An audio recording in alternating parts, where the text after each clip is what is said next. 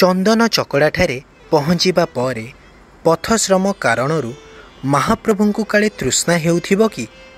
ଏହି ଭାବ ନେଇ ଭିତରଛ ମହାପାତ୍ରଙ୍କ ଦ୍ୱାରା ଘଷା ଜଳ ଅର୍ପଣ ବା ଜଳ ଲାଗି ସମ୍ପନ୍ନ ହୋଇଥାଏ। ଏହାପରେ ମଦନମୋହନ ଭୂଦେବୀ ଓ ଶ୍ରୀଦେବୀ ଶୁକ୍ଳ ଅର୍ଥାତ୍ ନନ୍ଦା ନାମକ ଚାପରେ ଓ ରାମକୃଷ୍ଣ ପଞ୍ଚମହାଦେବ ରକ୍ତବର୍ଣ୍ଣ ଅର୍ଥାତ୍ ଭଦ୍ରା ନାମକ ଚାପରେ ବିଜେ କରନ୍ତି ଶୁକ୍ଳବର୍ଣ୍ଣ ଚାପଟି ସାନ ଓ ରକ୍ତବର୍ଣ୍ଣ ଚାପଟି ବଡ଼ ଚାପ ଅଟେ ଏଥିମଧ୍ୟରୁ ଶୁକ୍ଳ ଚାପରେ ଗୋଟିଏ ସିଂହାସନ ଥାଏ ଏହିଥିରେ ମଦନମୋହନ ଓ ଭୂଦେବୀ ଶ୍ରୀଦେବୀ ବିଜେ କରିଥାନ୍ତି ବଡ଼ ଚାପରେ ଆଗ ପଛ ହୋଇ ଦୁଇଟି ସିଂହାସନ ମଧ୍ୟରୁ ଆଗଟିରେ ଶ୍ରୀରାମକୃଷ୍ଣ ଓ ପଛଟିରେ ପଞ୍ଚମହାଦେବ ବିଜେ କରିଥାନ୍ତି। ଦୁଇଟି ଡଙ୍ଗା ଉପରେ ଗୋଟିଏ ପୀଠ କରି ସମ୍ମୁଖ ଭାଗରେ ଉନ୍ମୁକ୍ତ ପକ୍ଷଯୁକ୍ତ ହଂସ ସଂଯୋଗ କରି ଗୋଟିଏ ଗୋଟିଏ ଚାପ ନିର୍ମାଣ କରାଯାଏ। ବଡ଼ ଚାପଟି ପ୍ରଥମ ପରେ ସାନ ଚାପଟି ବିଜେ କରିଥାଏ।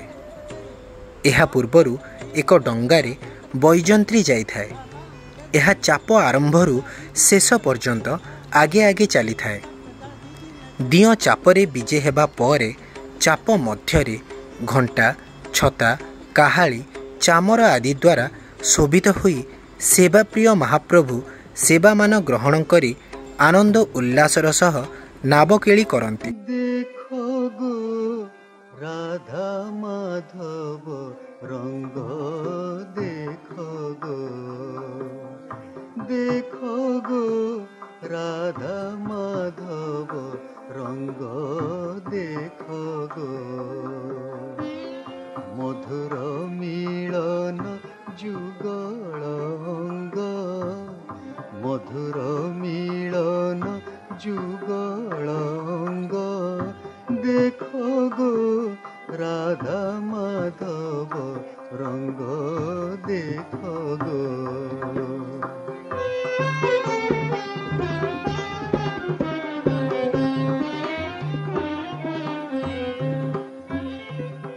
আহ কি নয়ন আনন্দকারী আহ কি নয়ন আনন্দকারী ধনে সৌদামিনী লীলা লহরী ঘনে সৌদামিনী লীলা লহরী। দেখো গো রাধা মাধব রঙ্গ দেখো গো।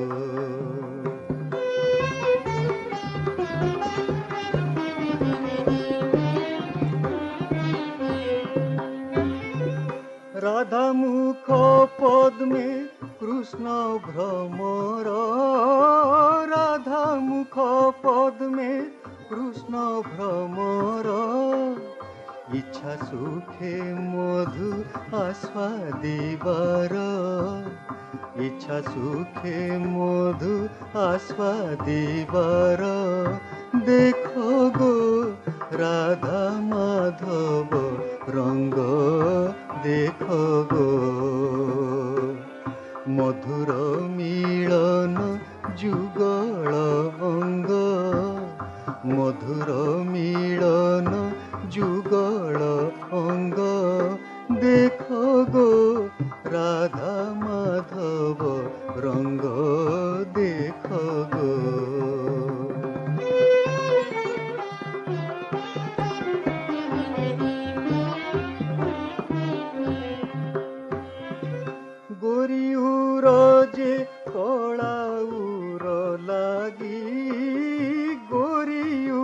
যে କଳାଉର ଲାଗି କି ଶୋଭାଦି ସନ୍ତି ପରାଣ ସଙ୍ଗୀ କି ଶୋଭାଦି ସନ୍ତି ପରାଣ ସଙ୍ଗୀ ଦେଖ ଗୋ ରାଧା ମାଧବ ରଙ୍ଗ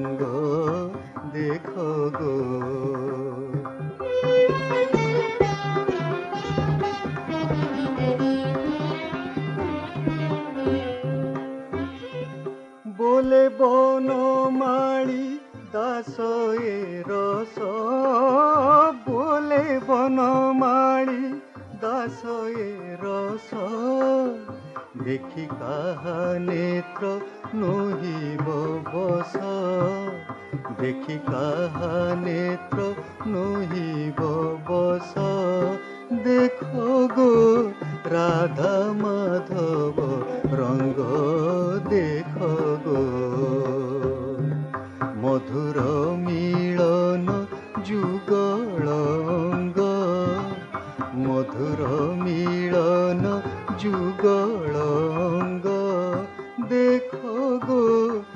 রাধা মাধব রঙ্গ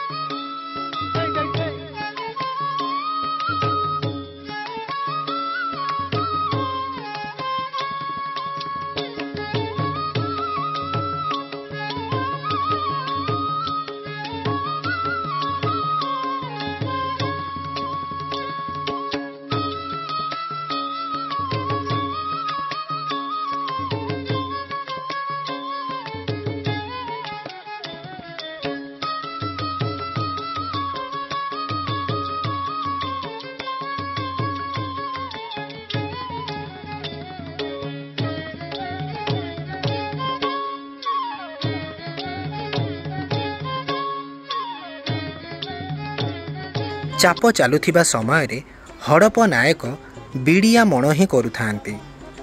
ଦିନ ଚାପ ଶେଷ ହେବା ପରେ ଦିଅଁ ଚାପରେ ମଇଲମ ହୋଇ ଭିତର ଚକଡ଼ାକୁ ବିଜେ କରନ୍ତି। ଏହାକୁ ଦିନଚାପ କୁହାଯାଏ।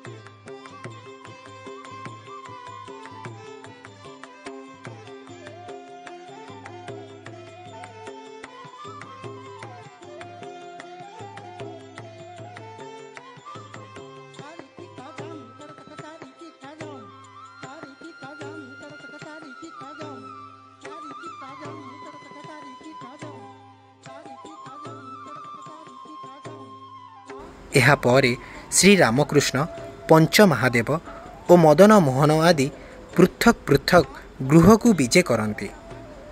ମଧ୍ୟ ଭାଗରେ ଥିବା ବଡ଼ ଗୃହଟିରେ ଶ୍ରୀ ମଦନ ମୋହନ ଭୂଦେବୀ ଶ୍ରୀଦେବୀ ବିଜେ କରନ୍ତି। ଗୃହର ବାମ ପାର୍ଶ୍ୱରେ ଥିବା ଏକ କ୍ଷୁଦ୍ର ଗୃହକୁ ଶ୍ରୀରାମକୃଷ୍ଣ ବିଜେ କରିଥାନ୍ତି ଏବଂ ଦକ୍ଷିଣ ପଟେ ଥିବା ଅନ୍ୟ ଏକ ଗୃହକୁ ପଞ୍ଚ ମହାଦେବ ବିଜେ କରିଥାନ୍ତି।